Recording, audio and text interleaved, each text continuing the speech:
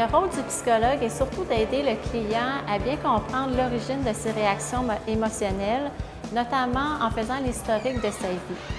Le psychologue va aussi aider le client à modifier son schéma de pensée qui bien souvent va être sombre et négatif pour le diriger vers des pensées qui vont être plus positives, réalistes et optimistes. Finalement, le psychologue va aussi aider le client en lui proposant des façons, des stratégies pour modifier son comportement. L'ergothérapeute en santé mentale va rester essentiellement dans le moment présent et son focus va vraiment être la modification du comportement en aidant le client à se mobiliser dans des gestes et des actions concrètes qui vont lui permettre de développer son autonomie dans toutes les sphères de sa vie. L'ergothérapeute en santé mentale va aussi offrir un encadrement beaucoup plus serré pour aider le client à réaliser ses objectifs et lui permettre de réintégrer ses rôles sur les plans personnels, social et professionnels. Finalement, l'ergothérapeute va avoir un rôle d'accompagnement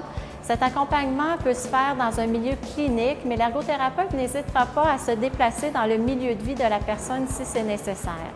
Par exemple, une personne qui aurait de la difficulté à faire son épicerie parce qu'elle a développé une agoraphobie, l'ergothérapeute va se déplacer directement dans le milieu pour aider le client à mettre en application les stratégies de gestion d'anxiété qui auront été enseignées au préalable.